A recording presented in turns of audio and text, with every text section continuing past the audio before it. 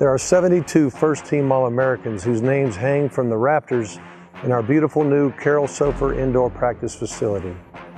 Among those names are some of the greatest defensive linemen that college football has ever seen. Ted Hendricks, Jerome Brown, Russell Maryland, and Warren Sapp.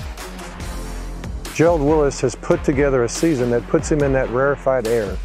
He has a career high 59 tackles with four sacks and a staggering 18 tackles for loss, more than any defensive tackle in America and the most at the U since 2006.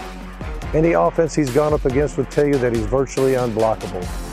His leadership in our locker room this season has been just as important.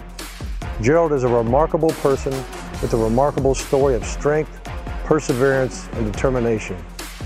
Thank you, Gerald, for everything you've done for this program, and I can't wait to see you shine at the next level. And remember, you will always be a part of the U family.